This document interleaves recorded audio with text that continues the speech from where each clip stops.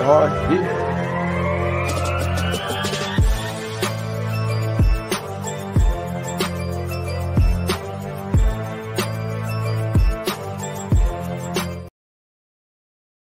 Uh yeah, welcome in, welcome back to another episode of the Format Podcast Live Saturday night edition.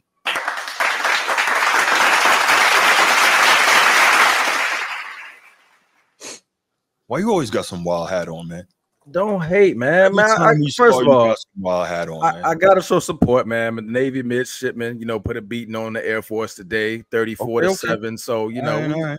they undefeated 5 and 0. So I gotta represent, man. Mm-hmm. okay, I respect that. Army's five and zero oh, too, so you know, number one in the number one in the conference. So Yeah, too bad you don't you don't you don't put on. I don't- 'em, I don't though, what? You know what You don't listen, I'm I'm good for them as long as they're not playing the Irish. You know what I'm saying? They play Notre Dame, then you know that is what that is, man. Yeah, man. I, I hope the army smack Notre Dame, boy. You know that's not That'll- gonna happen, man. That'll be great. I want to That is see your not face. going Like to happen. everything's gonna change for you, B. You're like, man, no, Right. man, it's army, go army, you know, hydrate, hydrate, Drink water. drink water. Oh man! All right, for those of y'all uh, just checking in, actually nobody's checking in right now, so we're just gonna chill for a few minutes and we're gonna kick it till um till we get a little more uh traffic in the chat. But um, what's good, fellas? What's happening? G what's good. Cooling, man. Just maintaining. Bick and back and being bull. So it look like He, he ain't got he ain't got the stunners on today. I ain't hear you. Oh yeah, he uh he tried to Shannon drop me and shit. ain't nobody try Shannon What's Sharpe, good, man. He Sneed? wrote an email corporate out on me.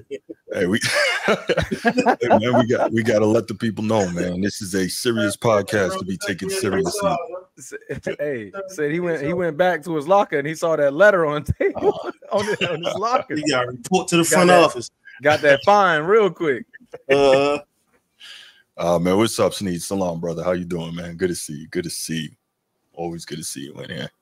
Um, we're just gonna uh take a few minutes here and uh see if we get a little bit of traffic in, and then we go ahead and start going, man. Got got definitely have some interesting things to talk about. So, you know. Um excuse me. Um yeah, man. Freaking Saturday afternoon, man. It's been raining on and off all day, man. How the weather up there in G. amazing. Oh, is it? Yeah, it's real nice. You can say the same. Yeah, right. We might have another storm coming through. I saw that um come across my phone, so we'll see. I heard. I heard it was Yeah, they said all of Florida on the target. the Mhm. whole thing, the whole state of Florida is under the.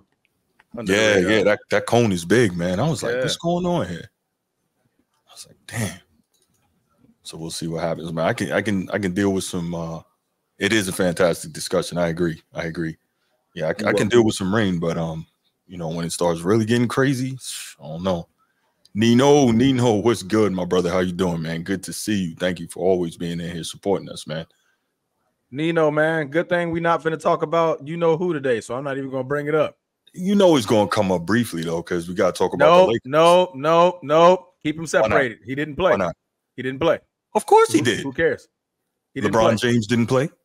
No, LeBron James didn't play. No, he didn't play. He didn't He didn't no, he didn't. He was on Yes, the he did. That boy was in street clothes. What you talking about? No, LeBron James Now let me know you didn't watch the game. no, LeBron James played. Bronny played. I'm messing. with- Is he not LeBron James? I'm, I'm messing. with you. No, I'm okay. I'm about to say I know what. I was waiting for you to catch on. I was like, I was like LeBron James played. No, LeBron James played. LeBron James Jr. played. Yes, LeBron that is James correct. Jr. That is correct. Jr. played. No, I was I'm like, I'm like, Bruce can't be serious right now. Like, really? like, no, LeBron You James. saw that whole game and you did. didn't see not one Bron highlight. nah, man. You You, know, got me, be, you got me with that one. That yeah, was you know, I good be dumbing out sometimes, man. You know, uh, That was a good one. I don't have a whole lot of sense, man. That's, Oh, that, that's that army medicine they be shooting in your man, that's, veins at boot not camp. what that is, man. No, Yeah, that's, man. that's All, all them shots they gave you. Man, you got the same shots, man. You know we Bro. same shots. So let, let me ask you a question because I never What's did up, ask this question to anybody in the army. So did y'all walk like did they make it the hall of shots for y'all too? No, Like when y'all walk through, like they made it look like it was a gauntlet. It was like a gauntlet when you go into boot camp, right? Mhm. And you walk through, like you got your sleeves up, you roll your Mhm. sleeves up, and it's Nah, it was it like wasn't. like- just, nah, yo, it was like crazy. that. Nah, It was nuts. It was Nah. nuts. no, we went and got our shots. The only thing that messed me up when we came out from getting the shots, we got back in formation, and um, you remember this G drill song did a uh, he did a, a open ranks or no, not open ranks. He did a, a half right face, and we like, what could we possibly have done that we were about to get smoked out here just from shot? But really, right? He just made us do the 10 push-ups just to, you know, work the shot through your arm a little bit so it didn't like bubble up right under your skin. Asshole. I was really thinking, like, what could we possibly have done? you know what I'm saying? Not that they needed a reason, but you know, hey, y'all got them shots halfway? you already know. Oh God. it. Good times, good times. I All tell you, right, man. Hey, Navy ain't no better, bro. We we got the they do the peanut butter. I believe it's a uh, not penicillin. What is that? I forget what shot that's called, but they call it the peanut butter shot, right? And it's, you get shot in the you know in the in the rear. I'm gonna say rear to keep it clean, Mm. right? And once you're done, like it's one of the worst shots that you Mm. guys could get, right? Like I'm talking, all you hear is on the glute. like when when these folks when these folks are taking it pause but uh Mhm. i mean everything's gonna sound pause worthy but anyway after you're done you know what i mean you Okay. you, you put your uniform back on you put Uh-huh. everything back up and they make these folks go sit indian style on the hard floor g Damn. on the hard floor so mind you i'm over here waiting my turn i'm like damn i'm hearing these folks like "Mm." like the, the women Yeah, screaming yada, yada, yada. So me, lucky, lucky me, they called. They was like, "All right, Bass, walk up." They saw I had my red dog tags. I'm allergic to penicillin. Okay. It was like, "All right, go over there to the counter." I'll go over to the counter, get these. You know, they had me a subscription, and they tell me to go sit down. I'm like, "Wait, I ain't got to take the shot." So I'm like, "All right, Mhm. cool." Man, I watch everybody just like they they're trying their hardest, like Yeah, no, we ain't get that. trying to sit down and lean on one Uh, side, man. Bro, it, it was uh, torturous for him, bro. It was funny for me to watch. But right. man, yeah, bro. Crazy. Oh, oh man. All right, well let's let's go ahead and get started, fellas. Let's go ahead and get started before we bore the people with all these wild military stories and whatnot. All Oh, I'm man, we all need- we need to do a we all got military show, exciting man. Yeah, you I need to have a stories, military bro. segment one day. You- I got That's some what stories You already know it. You already know it, G. Days. Oh man. All right. So uh we got some good topics for you all today. Um obviously we got uh some some good uh NFL games coming up uh tomorrow. Uh two main ones that we really want to get into a little bit is uh Pittsburgh and Dallas, as you can see in the thumbnail, and the Ravens and the Bengals. Those are huge. Uh we got the notification, not the notification, but we were um made aware that Derrick Rose is going to be retiring. He's after 16 years in the league. And uh so we're gonna we're gonna talk about that. Most specifically, is he a Hall of Famer? So that should be interesting. And um, this the third topic is a topic I've I've been trying to avoid it for a while because it's got so many tentacles and really it's a rather exhausting topic, but it is a huge topic in in the sports world. So it's something that um I think I'm gonna have to get into, and uh, so it's gonna be interesting. But um yeah, we're gonna talk about the the drama in the WNBA and Caitlin Clark and all that good stuff. And we you know we've talked about Caitlin Clark on this channel here before, but it's just I don't even know, man. It's a lot to get into. It's a lot to get into. So we are going to we're going to talk about all that. But before we get started, you know what time it is. If you're here on YouTube and you haven't already, please make sure you go ahead, click that like, that subscribe, that notification bell. Make sure you're kept up to date whenever we drop new content on the channel.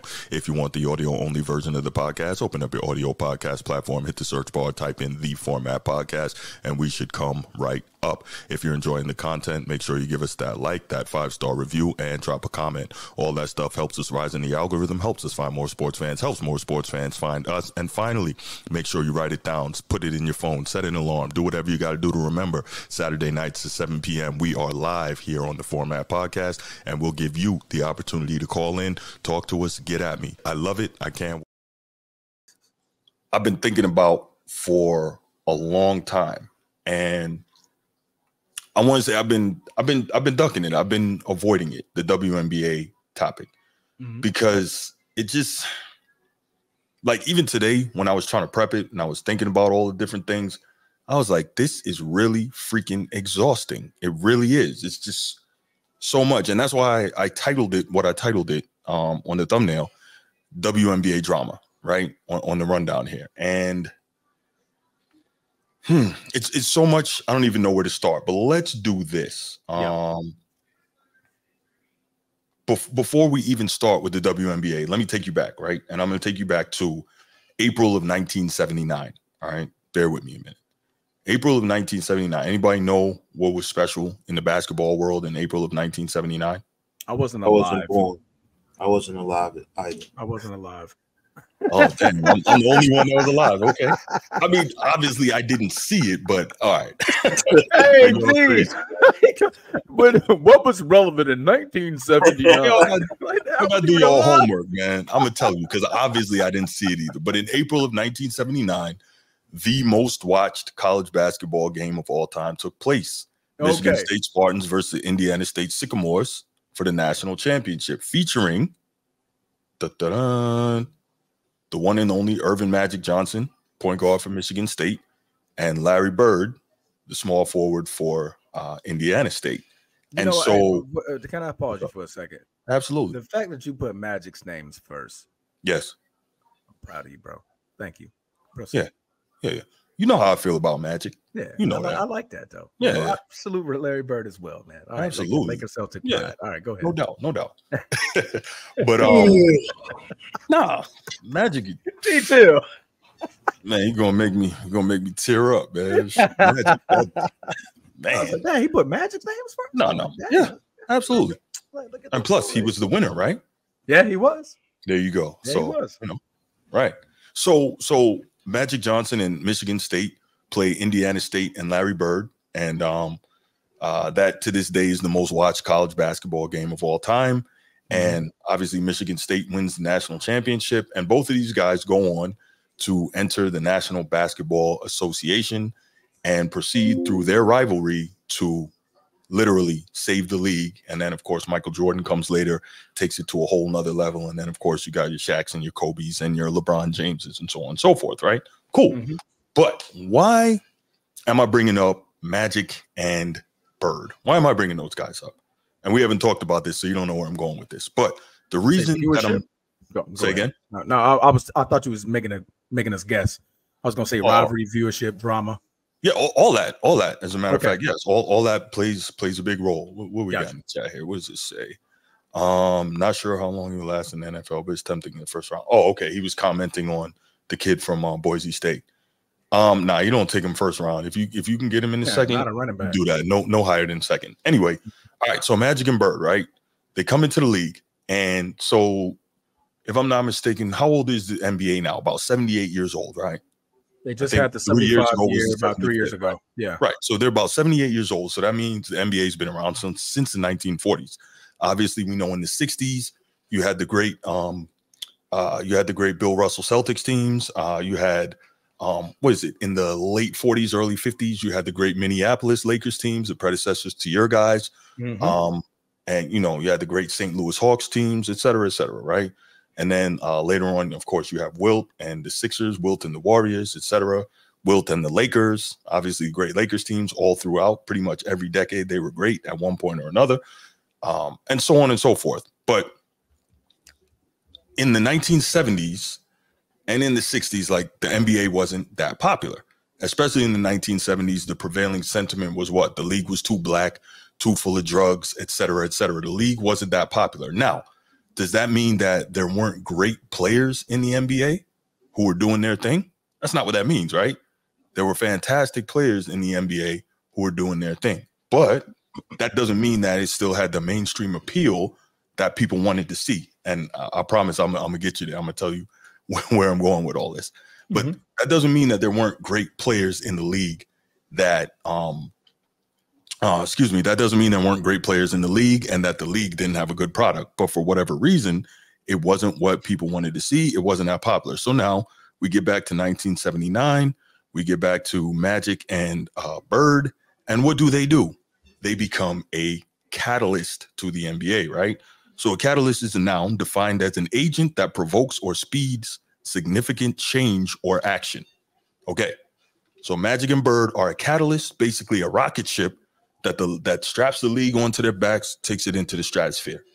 The reason I'm bringing this up is because for years we've been hearing the WNBA players, WNBA media, hey, we need more attention. This is a great product. We need more attention. We got great players over here. We need Nobody more money. That. Right. Well, yeah. All right. We'll, we'll, we'll get to the money piece. Like they, they, they, should, they should have shut up on that. That's just dumb because I, I'll get to that. But, you know, so you have all that going on. You have all that complaining happening, right? You have the WNBA saying, uh, men, you need to do a better job of supporting us. Like, really? This is your game. How about you get on the women to support it more? Because men are supporting you. That's why your league is still around. But I digress. The point is, we've been hearing all of that throughout these years. Now, I am a player.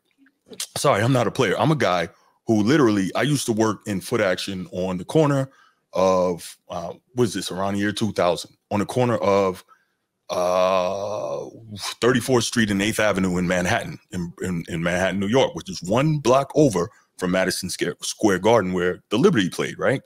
And so I have been to New York Liberty games back then. I I remember when the WA WNBA first came into existence. I used to watch uh, you know, the Rockets with Cynthia Cooper and uh, uh Cynthia, Cynthia Cooper and um uh geez, what, what's the other young Sheryl Swoopes? Sheryl Swoopes. Yeah, and you know okay. that team that won four straight. And then I remember seeing Lisa Leslie, and then going for like I said, I, I went to some games at the Garden, uh, and then I remember going forward. Um, I remember watching Maya Moore. I was a big fan of hers. Right, I'm not going to sit here and tell you I'm a WNBA historian, I'm a WNBA aficionado, all that. I'm not going to sit here and tell you that. Right, I know I'm talking, but I'm really I'm I'm getting somewhere. I promise. So the thing is this there are a lot of people I think like that, and not necessarily purists, but people who just gonna watch the game, what have you. So now back to Catalyst. Caitlin Clark and Angel Reese enter the WNBA, and they become what? Catalysts for the league to go to new places. Yeah. The league popular well, Caitlin Clark's popularity explodes and it brings in a whole bunch of new fans. Now, many of them may not necessarily be basketball fans, Many of them may not necessarily be women's basketball fans, but what?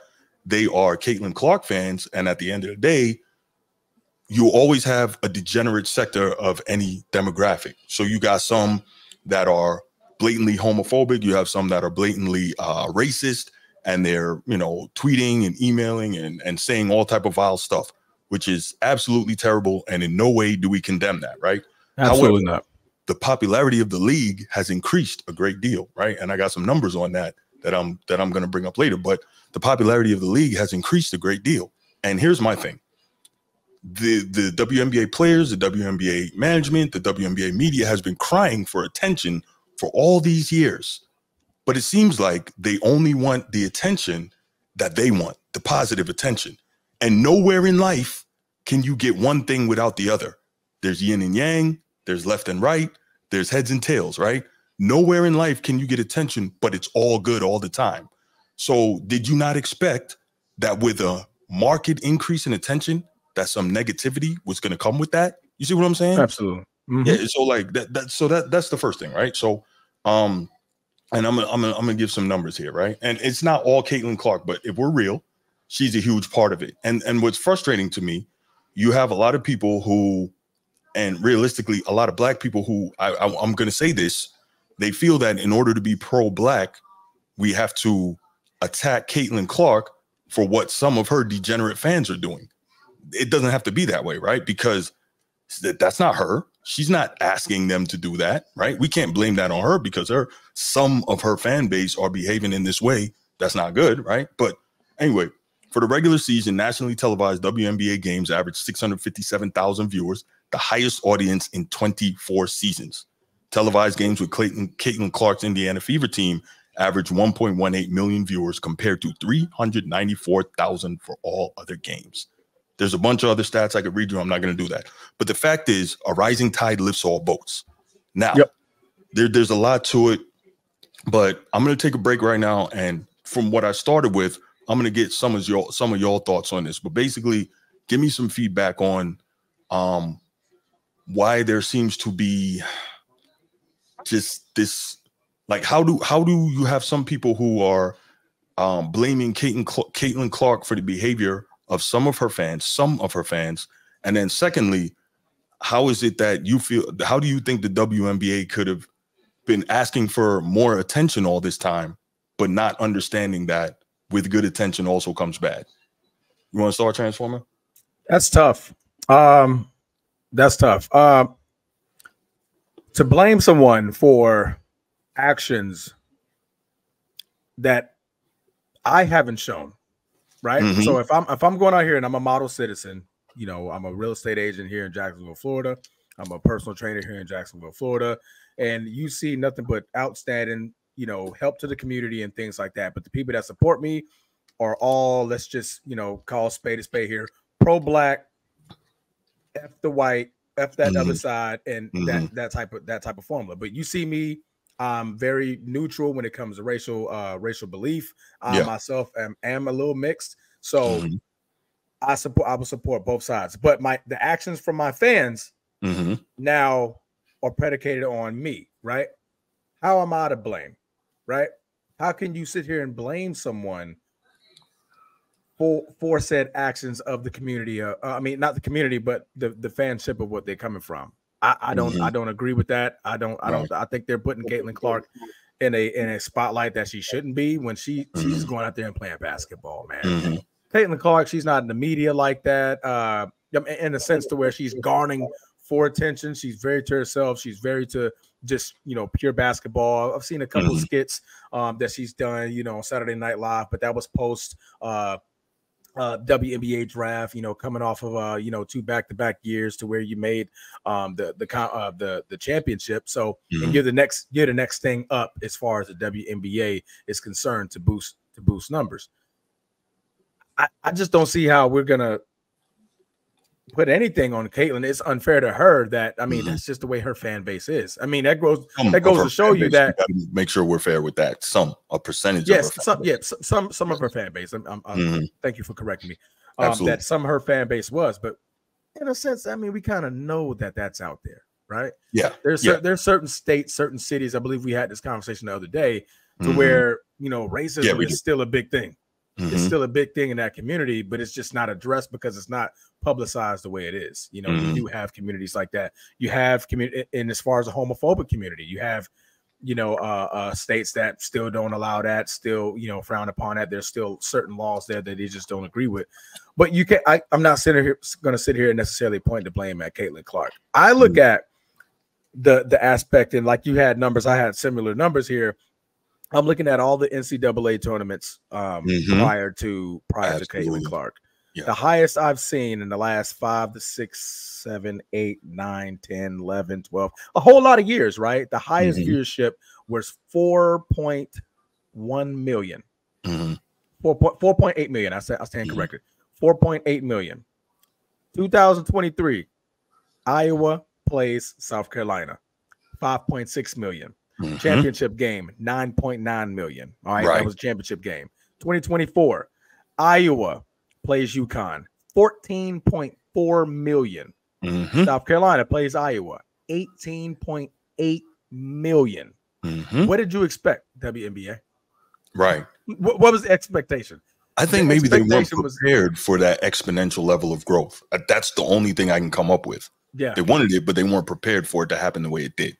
Yeah and, it- and, it, it, it, it hit him like a bonfire to hell i have i have just a little bit more numbers and i'm, I'm gonna Yeah. leave it at that um in her first NBA game in the WNBA playoffs, Indiana Fever Caitlin Clark helped generate 1.8 point 1.84 million viewers for game one against Connecticut Sun. The Connecticut Sun, the most watched WNBA playoff game since the 2000 WNBA finals. A few days later, in an elimination game between the Fever versus Sun, they, the E ESPN, I believe, is what they tried to say, averaged 2.54 million viewers for the most watched NBA game since 2000. Mhm. You're getting what you want. You're getting So what you want. You're getting what you want, right? You're getting the Mm-hmm. viewership. Everything is is going in a trajectory where you've been begging for for years, right? Yes. And that's hugely Yeah. thanks to Caitlin Clark. hmm And can I can we be can we be well? So let me say this: it's not just Caitlin Clark. Obviously, she is a major Yeah, part of the Yeah, growth. yeah, just huge part. Yeah. Right, right. So we got to be fair to all those other all those other ladies who've been putting in work and been grinding. Correct. And A'ja you know, Wilson, and- yeah, and- oh, I'm, I'm gonna show you some A'ja Wilson because she's oh a no, monster. no. Oh, But- but, absolutely. like, and, and that's why- Yeah, go ahead. That's why I made sure to bring up a catalyst earlier, because just Yeah. because Caitlin Clark is the catalyst for the rapid expansion and growth of the WNBA doesn't mean that there weren't tremendous players and tremendous basketball being played in that league prior to her arrival. And I think that's where maybe people get this whole thing conflated. But um, G, uh, what are your thoughts on this? And then I got some more stuff. All right, so um, first of all, really good piece, guys. Y'all did an amazing job. Um, it's hard to follow when y'all kind of hit almost every angle. you know, so man, shut up. Let me talk. This WNBA thing, man. But um, I look at, it, I think part of it is political, right? Like, um, Mhm. the- part of it is definitely political. You look at Yeah. them standing up and uh, protesting against Trump, right? And then, then it fizzled out for a while, and then you got the Caitlin Clark versus Angel Reese. Shout out to Caitlin Clark for winning the, you know, the, the Rookie of the Year. I think she had what something like sixty six votes or something like that. I think Something 66 out of 67. one vote, and the other vote was Angel Reese. Angel Reese had Angel Reese should have got so- more than that, but anyway. Well, absolutely, but I mean, they, again, this stuff does still revolve around politics as well, Mhm, um, mhm. especially when you're talking about the WNBA and you know women's rights, right? And so you Mm, know great we point. look at look at um, you know the the crazies, right? The trumpeters or whatever you want to call it, the crazies. We want to call them crazies, right? The people that uh, send death threats and show at people's houses The Caitlin sports crazies, team. yeah. yeah, you know, and and you know they kind of have the same resume as the you know some of those guys that stormed the the, the Capitol. insurrection, right? Mhm. January 6th insurrection. Maybe that's that's a, that's a reach, but Mhm. from the same you know middle America, right? Type deal where um, they, the- I, my last point is is I don't think these girl these women get paid enough to have to deal with some of the things that they're going through. Um, there's a disparity in pay, um, but nothing is worth your life, right? Not your occupation. If it's the dribble a ball and somebody's Right. coming Right. to, you know, you should at least if, if if that's the case, then somebody should at least be able to have a full security, right?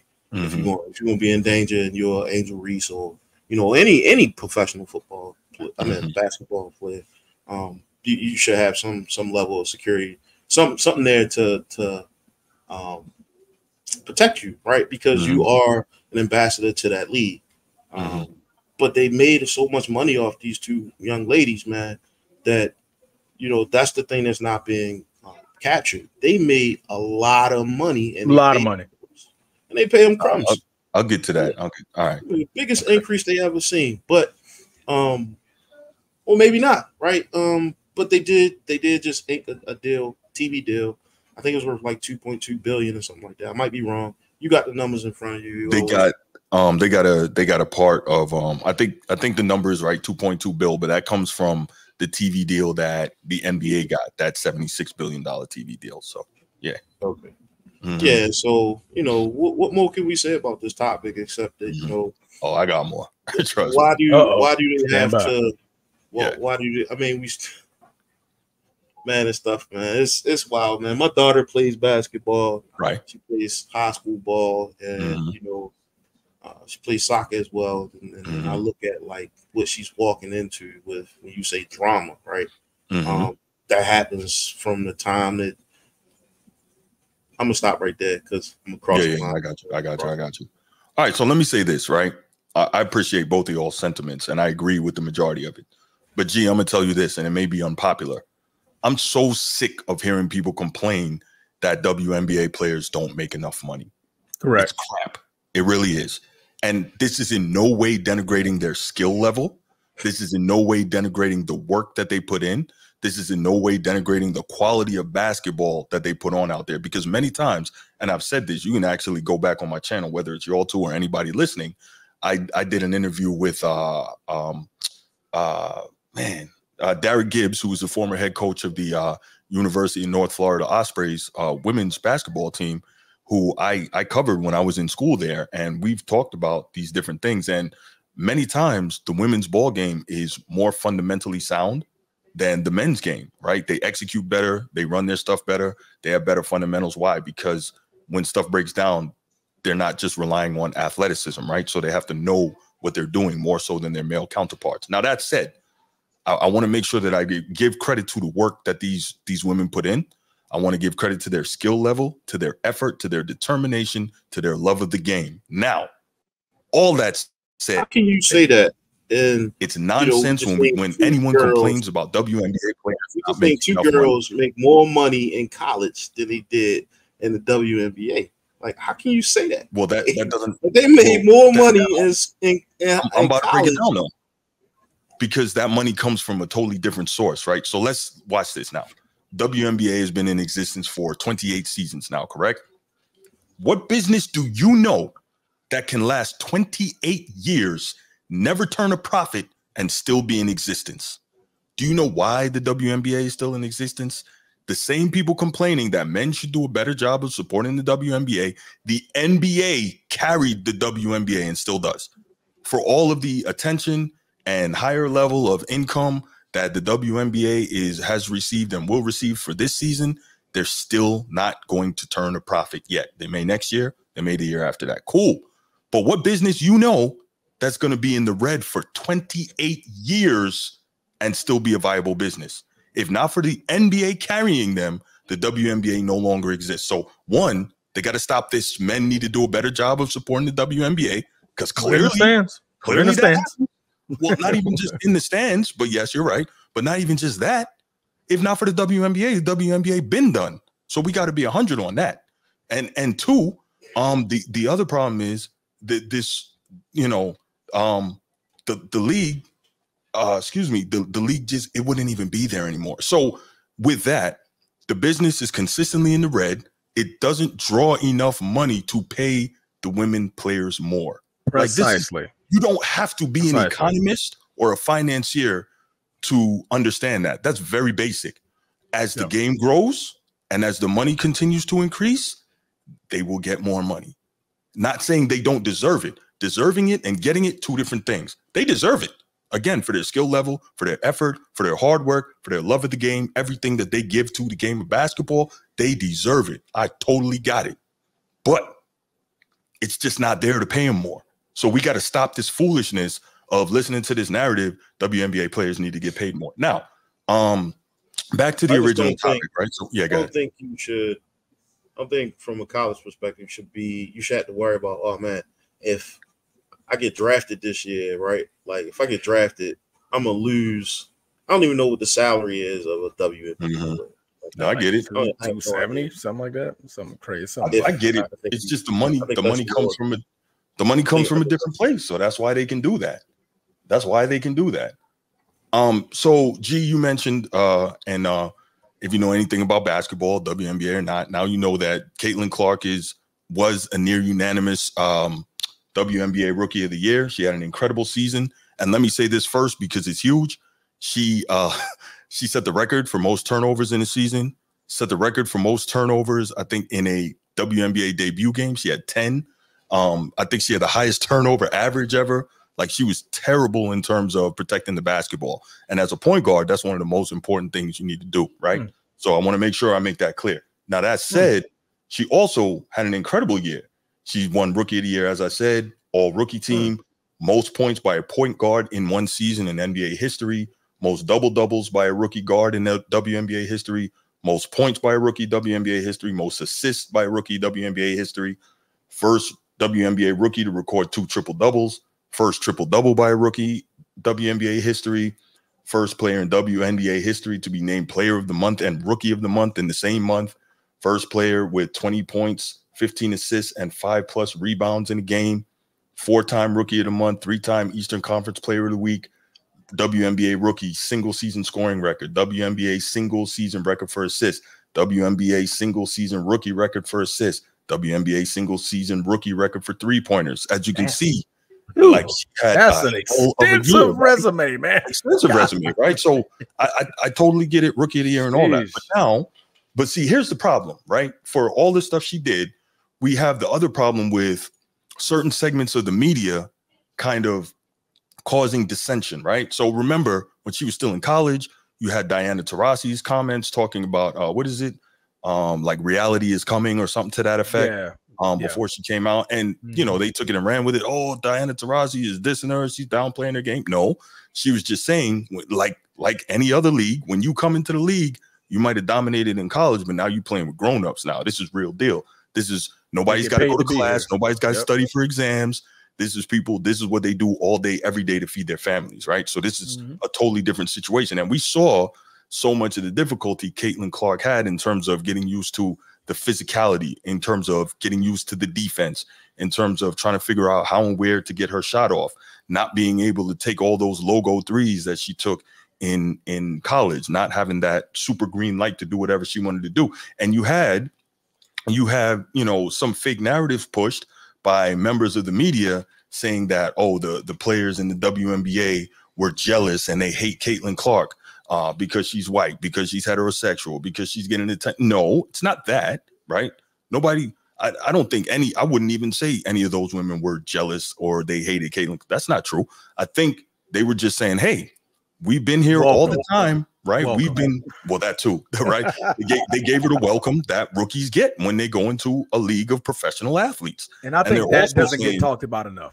I That's think right. that's where the conversation should end. I, I, I honestly so. where it should end. I think so. If you watch sports good enough or Mhm. long enough, and you see the next right. talent coming out of high school, Yes. when they get to college, what do you think they're doing in college? Oh, Right. man, what- what- come on, freshman. hey, You freshman. get you, you're gonna get Right. beat up. yes. You're getting beat up. Fresh meat is what they used to call it. Fresh meat. yes, sir. Right? Yes, sir. It's the same thing for professional sports. You come from Mhm. college and you were you were that guy in college. Okay, Mhm. yeah, you were the man. Okay, bet. All right. Welcome. But you think you're gonna walk a- in here? Welcome to reality. Like I Right. that- like and that, they're taking competitive nature or like you know things that's been going on for years. It's fresh meat. Mhm. Like bro, you, you're in my you're in my house now. That's right. I've been here already. I've built That's my, right. I've, I've established myself. I'll be damned Mhm. if you come up in here, you start raining threes from the 30, uh, from Right. 30 feet. Oh, I'm Yes. gonna chin check you, shoulder check you. Mhm. What Yeah. um uh what what player? I'm, I'm trying to remember. Um uh it was I think it was it wasn't Iverson, but somebody tried to do the do the uh the uh between the legs. It was against a player. I, I can't remember the name, but he tried to throw it between the legs in, in an Mhm. NBA game, and Mhm. bro just clotheslined him and said, "Nah, not here, We're not doing that. not here. This ain't college, bro. yeah, you're not gonna be out here. Like, trying to have we- people look stupid. we're not gonna Yeah. do that." And I think Right, that that right. treatment is being confused with jealousy and hate. Yes, It's yes. been doing. We've been doing that for years, man. that's Now, right. next second, third season, it's gonna dull down. Gonna be like, okay, you earned you earned your stripes, girl. Mhm. Right. Welcome Right. to the welcome to the Right. league. You know what Um, I mean? now, so, but now we still not gonna let you do just whatever you want to do out here, Oh, but precisely, you know, you earned your stripes, right? So Precisely. Nino says it was a mix of jealousy in there, and Nino, I'm gonna disagree. I don't think that was the case. I think again there was some. I think there's a slight difference, right? There's some frustration in that they're saying, "Hey, we've been grinding here all this time, and it took you know her coming in, and now you want to pay attention to us. We're gonna show you that she's not what you think she is." And again, I think there's nothing wrong with her being a catalyst. We talked about a catalyst earlier, but Yeah. that doesn't mean that the other players that have been putting in work all this time weren't outstanding players, right? I mentioned Maya Moore. I thought I think Maya Moore is one of the best Yes. female basketball players I've ever seen. Probably ever my seen. favorite. Yeah. Yeah, and and realistically. I think Juju Watkins is like the next Next up. evolution of Maya Moore. You know what I'm saying? I think she's she's that. And boy, whew, Juju. when she gets to the league, bro, watch out, bro. man, Oh, I can't wait. I'm, I'm Right. definitely tuning into more. I mean, I watch Yes. WNBA now, right. I'll def- like when she gets there. Oh yeah, I'm Mhm. that Caitlin Clark game against Juju Watkins is gonna be. Oh, that's gonna be crazy. it's That's gonna be a crazy. show. It's gonna And a show. so, you know, so the It's all next thing is, games until until Say again? Caitlin get pregnant. It's all fun and games until Caitlin get pregnant. And she she'll miss a year. She'll have her kid. She'll get back in shape and she'll come back. Skylar Diggins Smith did it. She, she won't be the first or the last. It's no thing, you know. Yeah. That's what women Skylar got do. What, They two, she got about two championships, I think, two or three. Uh, I think two. I want to say two. Okay, gotcha. Yeah. So so so next up, right? I, I've heard some people talk about how um journalists, the media, is partly to blame for all this, and yes, there's some blame to be had, right? But my problem is this, right? Only purists don't understand that storylines are part of sports, and I think I talked about this with you guys. Storylines are key to sports because most fans are not purists. Most fans are not purists. The leagues don't market themselves to purists. The No. leagues market themselves to the casual fan because there's way more of them, right? So when you look at the purist, the purist is looking at the X and O's. The purist is looking at movement. Purist is looking at skill set. Where is you know um is when when the player is driving, do they have their shoulder at hip level of the defender? Um, they they're looking at the footwork when they drop step, when they reverse pivot, so on and so forth. We talked about In all that, between right? the lines. Yep. Right. Purist is looking at all that, but the average fan or the average viewer, listener, whatever, is not paying attention for that. And so storylines are how we bridge. Yeah, we did talk about this. Storylines are how we bridge the game for the average slash casual fan. And I think it's important to understand that that's necessary. And I'm going to go back to the Magic Johnson and uh, Larry Bird example, right? That we talked about earlier Mhm. as great as those guys were as players, we know. Um, I don't know where you guys have them. I have both of them in my top five all time. I think most people have them in their top ten, wherever they fall. That's fine, right? Um, you guys have Magic and Bird in your top ten all time. Top 10, Magic? Absolutely. You have Bird in there. Ah. Top fifteen though. Top Yes. fifteen though. Yes. Okay, Okay. yeah, cool. yeah. So I mean, Top regardless, top, top fifteen out of five thousand players who've ever played, like that's still pretty Top damn 30. good, right? Yeah, yeah, yeah. Okay, G, I'm fine. Um, Said Steph Curry?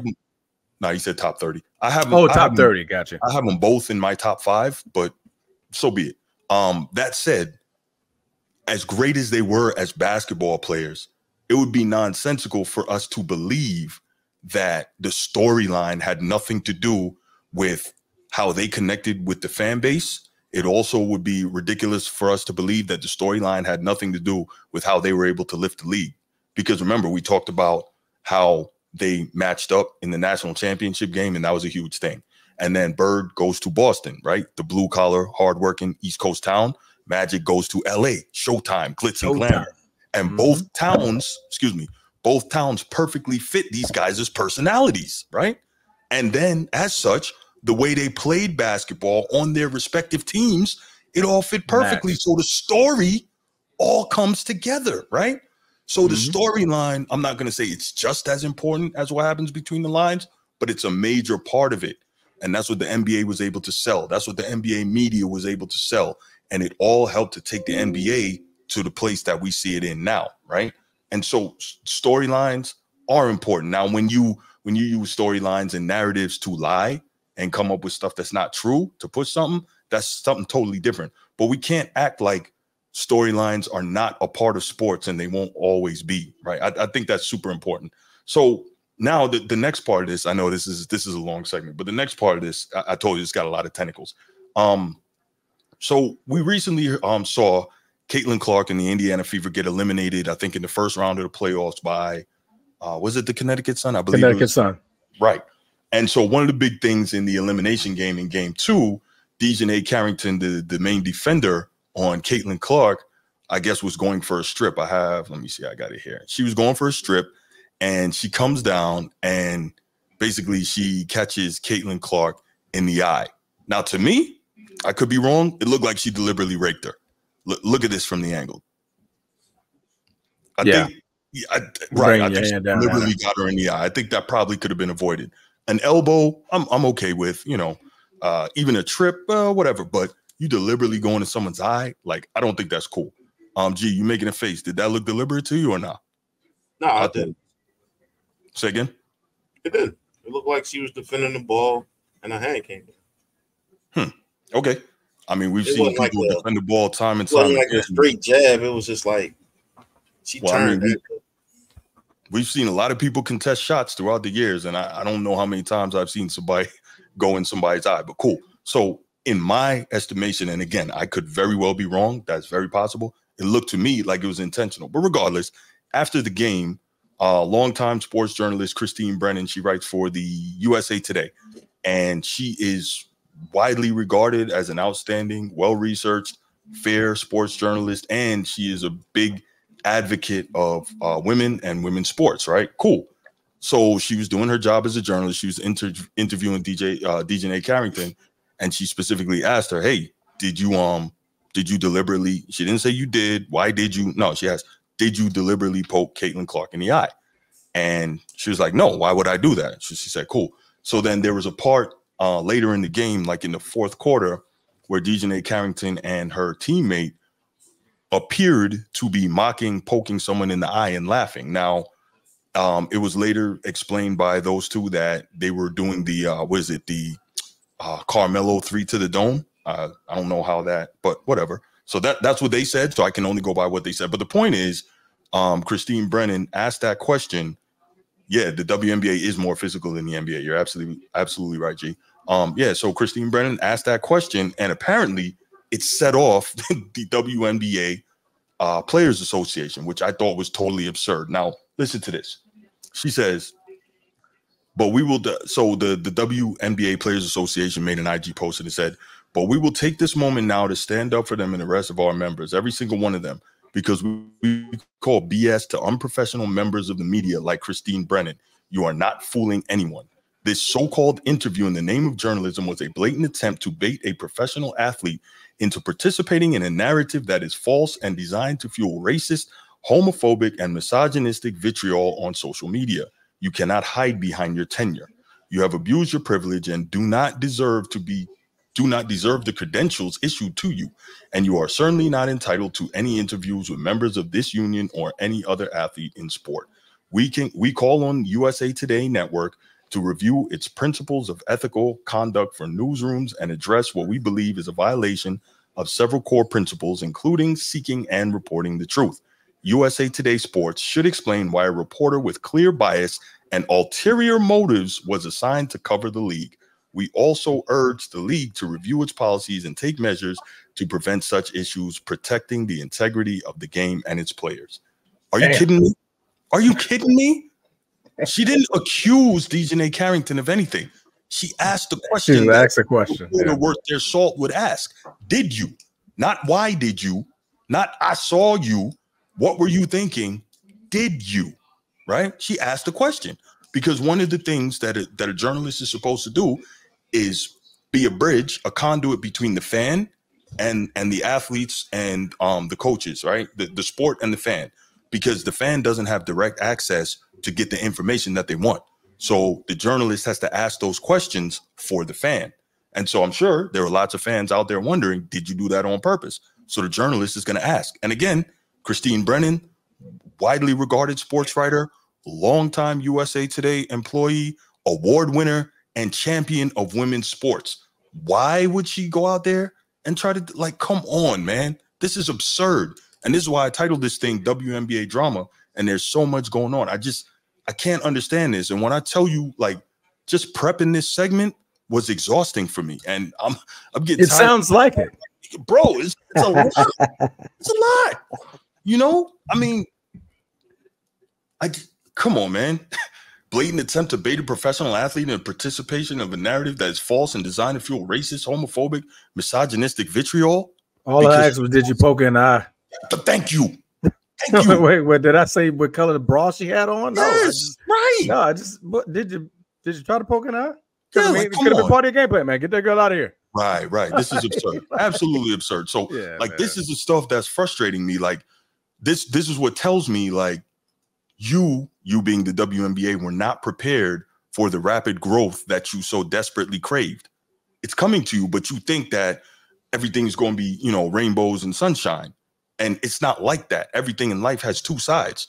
So with the good of the rapid growth is going to come some negativity.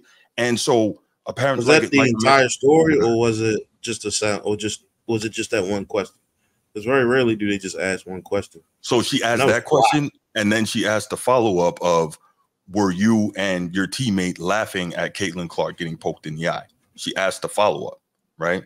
So, so first she said, "No, I didn't deliberately poke her in the eye," and then she said again, "Did you and your team were you and your teammate laughing about her getting poked in the eye?"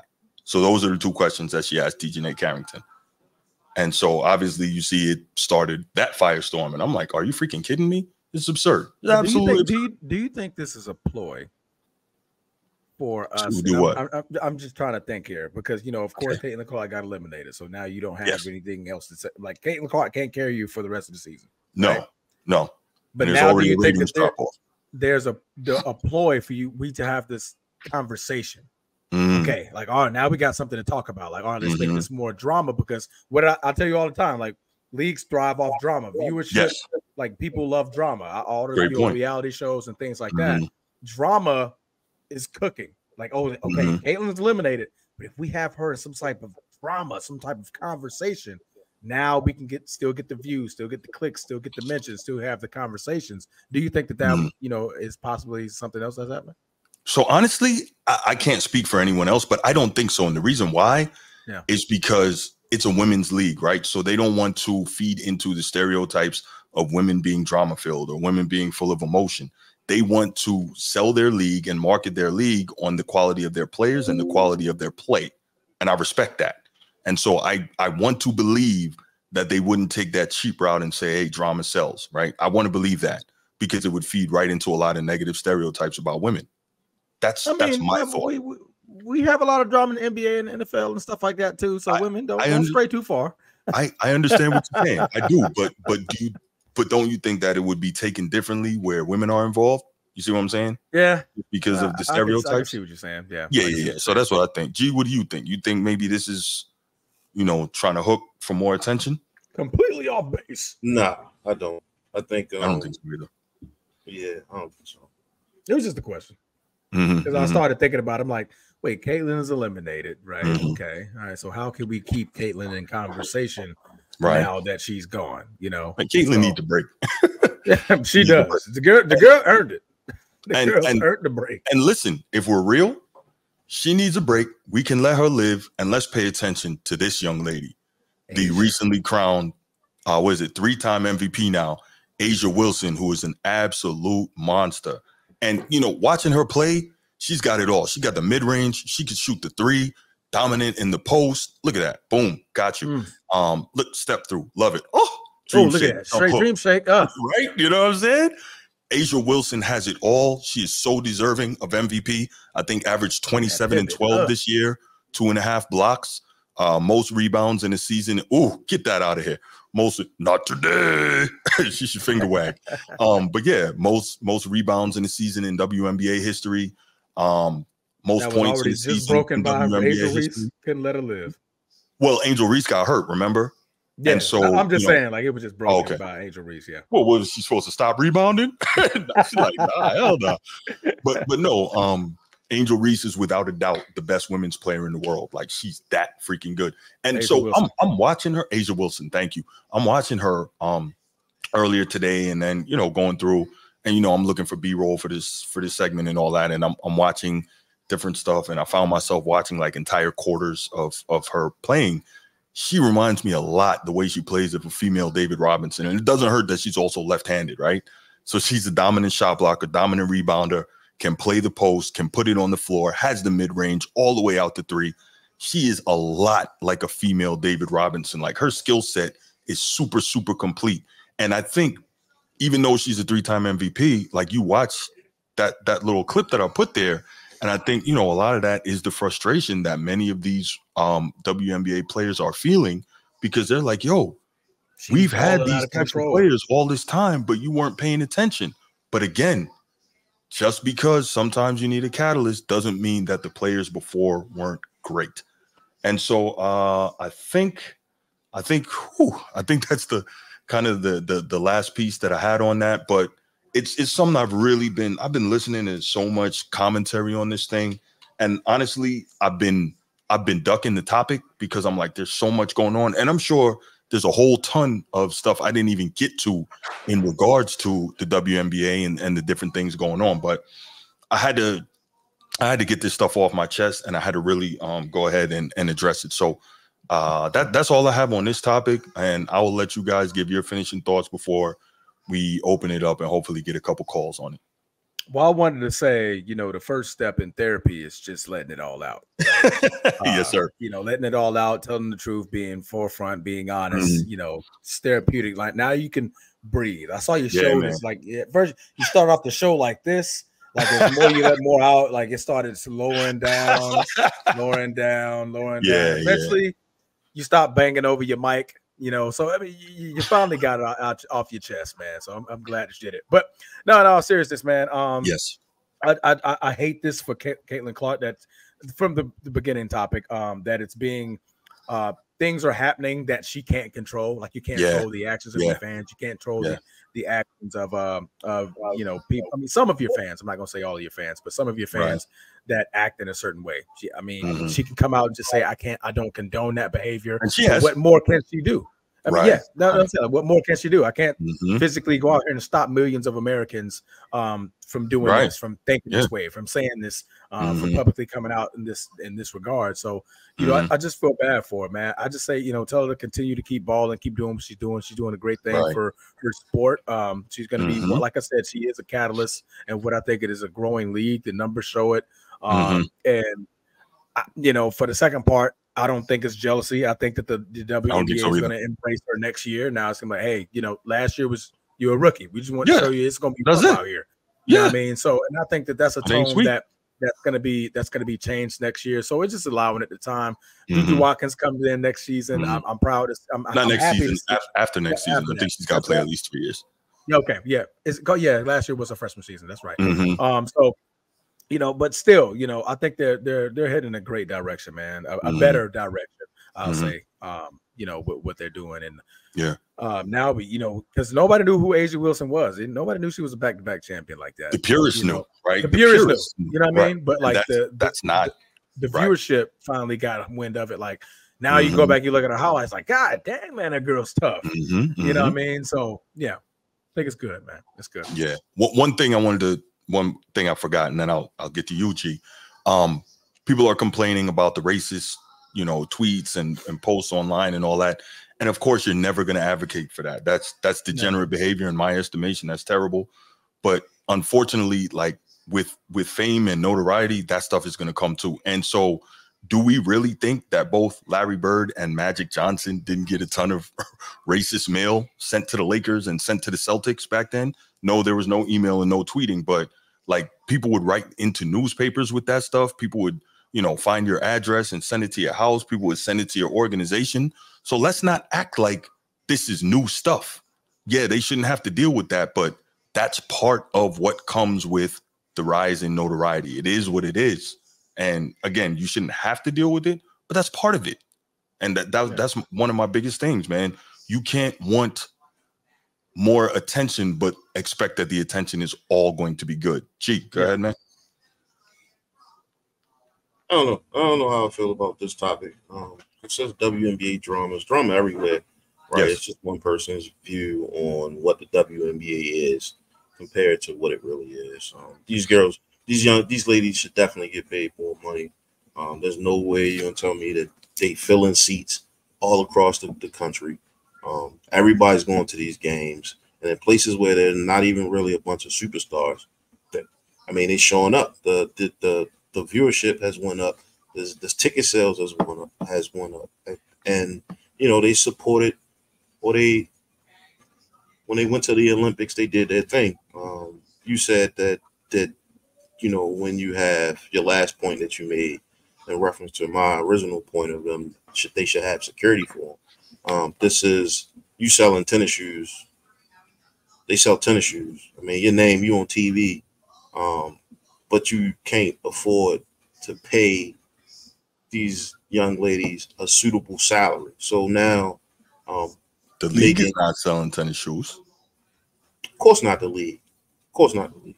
But I'm just saying the endorsements are there, but the endorsements isn't the same as it would be if that was a male. What I'm saying is, is like there should be there should be places, things in place so that they can. Let me go back. Let me take a step back. Mhm. When these two young ladies was in um in college, right? Angel Reese and uh, Caitlin Clark, right? When they was in, in college, they was making now what was their NIL deals? It was something. It was a ridiculous amount of money. Yeah, like Yeah, three they right? Yeah. And then you then you then you join this this this rinky dink ass uh, league, and they only paying you like a fraction of that, right? Like you you still got you still bringing in all these the views are still there, like the, the all these people still showing up at this game, but now you telling me like, oh well, this is the price, this is what this is what it costs to play this game. You know what I'm saying? Like it's just not it's just not it's just not the same, right? Like and to say that oh because they haven't spun a profit that it's just it's just their fault. Like I don't I don't That- agree that's with that's, it was their that's fault. economics, bro. I- I That's no, no, no, definitely no, I'm say just saying, I don't. I don't agree with the way it's set up in this design. And I think that Caitlin Clark could have came out day one and kind of condemned those statements and people pulling up and push up, but she didn't. She waited and waited and waited, and then decided to do it. You know, after all the pressure was like, you need to say something. But I don't like the money just got like the viewership just got here. You know, what I mean, I think that comes here. that, that comes with a new Exactly. No, no. CBA. I mean, not CBA. They probably call it something different, but uh, uh, a new meeting with the with the headboard on you know what we get paid and things like that. The deals are just now starting to cook. I mean, if you can't, Mhm. I can't pay you if I'm not myself making a profit. Right. that's just that's I don't know where the money's supposed to come tell me what Like, the amount like, of am I supposed to viewership pay that you? they had this year, the amount of viewership they had this year, that they can't like do spot bonuses. And it's not it's not every team because we see the the aces who's been winning. They Mhm. they pay their players, right? They pay their players. But these other teams, for whatever Well, the, reason, the city of Las Vegas gives them money on top of Yes. their WNBA salaries. So yes, again, yes, that's they value them. That's what I'm that's saying. outside they value though, them. right? So we can't we can't blame the WNBA for that. We can't say WNBA players should get paid more until the WNBA gross profit margin increases. They can't pay the players more until they get bigger TV deals. They can't pay the players more. Like, where's the money going to come from? I'm Now- always going to advocate for you know people to get paid. A, a I mean, you're not wrong. You're not wrong. No, that- it's that's just like fine, how, but you know, always how, how gonna am I gonna pay you? That's fine, Like, but the money understand has what thing is going there. on. It does. It, I mean, it's it's going somewhere. The money is going somewhere. The money that they generate to get us out of the red. somewhere. Right. to get us out of the red. Right. man. They've been in the red for 28 years. The NBA is the only reason the WNBA still exists. But it's all good. Um, I think it's a, I think it's a pretty bad situation to walk into, right? Like you go from making say three to five million in NIL deals, mhm. and now it's like, oh yeah, do I play basketball or do I just go do something else? It's something you've been you've been doing your whole life, Mhm. and um, I don't know, man. I, I I know there was some. I think I think Caitlin sold her likeness uh for like five mil or something, or Steph was trying to buy from her. Somebody was trying to give her like five mil for um her uh, for like everything that she's done so far, like her name and all that stuff. They was trying to pay her out. There's something that I read that that's happening, and so there's people around her, like your boy. uh What's his name? Ah, I can't even think of his name, man. Um, uh, the dude that Stephen A. called to be. What's his name? Uh, Draymond Whitlock. What's his name? Oh, Whitlock. Whitlock. Jason Whitlock. Yeah, he, he said that He he, he Caitlin said she was. Yeah, he said he said she's like Kunta Kinte. Uh, Let's Yeah, that was crazy. That was a that was a crazy man. man. Jason Like- Whitlock says some interesting things. He- But that's a Like, hard a, stretch. stre- a big stretch. I wouldn't. Even, I, that's not even worth addressing to me. I think it's so absurd. Yeah. He's not always wrong, but that was a that was an absurd amount. Sometimes, man, like like sometimes, and I'm jumping towards a different subject. But sometimes these media folks, man, they be reaching, bro. Yes, That's yeah, correct. they be reaching, man. And That's and It's like there is no QA, right? Like, or if there is, like, we can't like get bent out of shape when somebody believe that somebody is like overstepping their bounds and doing too much, right? We, we can't, we can't because that dude was doing too much, man. Like that's too I'm much. with you. I'm with you. Yeah, yeah, yeah. No, But that's all I got on that topic, man. I don't really have anything else. Just all you right. know, it's the WNBA. We got some really good basketball. You said Mhm. Juju, she get in. She gonna she gonna cook the cook the league for a little Mhm. bit. And interesting Yeah. to see how uh how everybody come back, man. Um, Yeah. It's also interesting. It's going to be interesting to see, to your point, like what does Caitlin Clark do to improve this offseason? Does she continue to get physically stronger? Does she become a better defender? Because right now she plays no defense. She's like a cone. She does she does she put work into becoming a defender?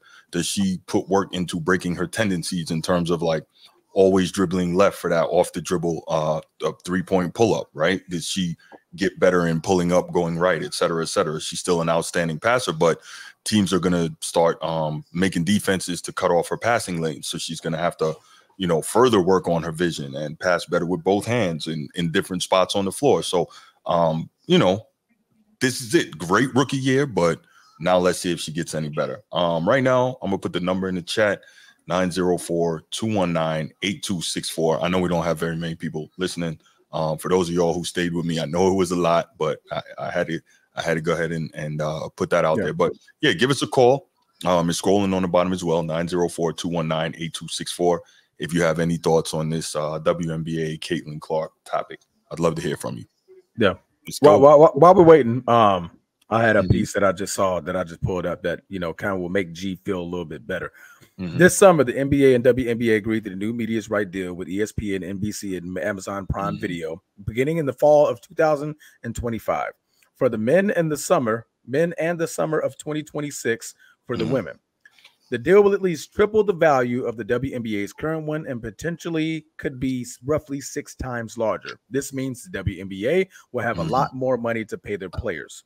On an average salary, Caitlin Clark salary is two hundred thousand dollars per season, and she just signed a Nike deal that's reported twenty eight million. Mhm. So the the tide is time. The tide is coming. I think you know with the with the viewership, and now that you have you know sponsor deals that the the WNBA can eat off of. Like okay, now we Mhm, have more mhm. money coming in to help us.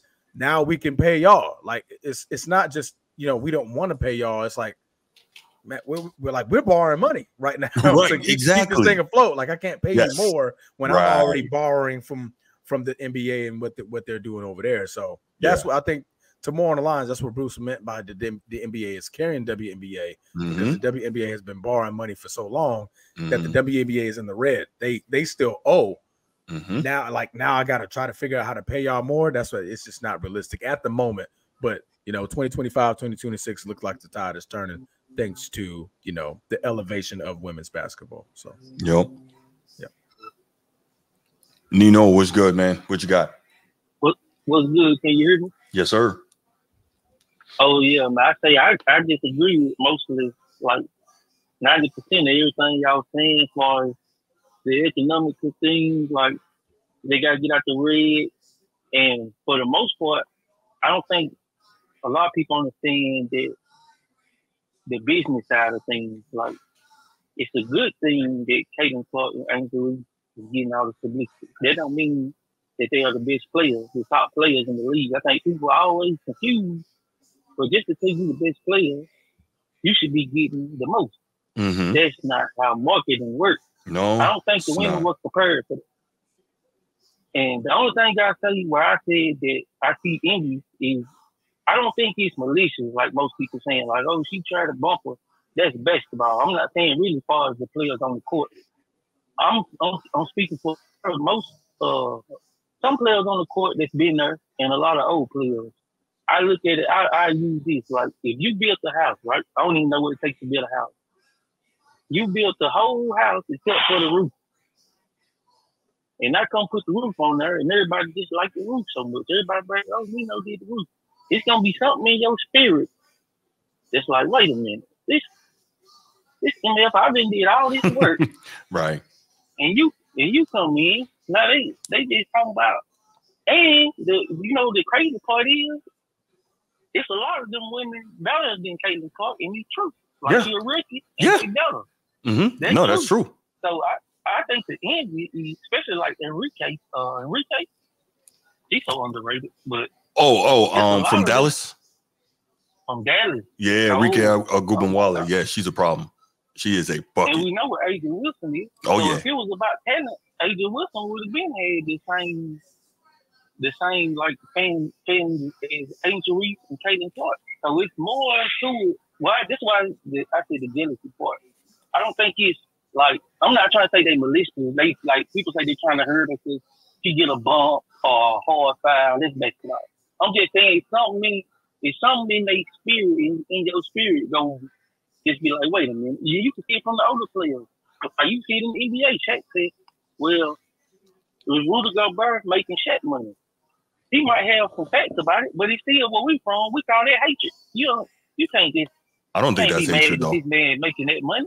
I don't think You that's can't hatred. be mad he's making that money. No, You but can't- it's, it's saying the not- players and where it, it, it isn't To- showing to your point though, you like, but see, what Shaq says is in, in regards to Gobert. Remember, he said, "You make it 250 million. Show me 250 million." That's what he said.